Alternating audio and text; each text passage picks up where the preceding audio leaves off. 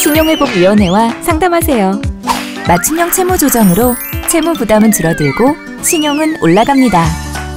연체 전, 연체 우려 상황부터 연체 30일 이하, 연체 90일 미만, 그리고 연체 90일 이상의 연체 기간에 따라 맞춤형 채무 조정을 지원해 드립니다.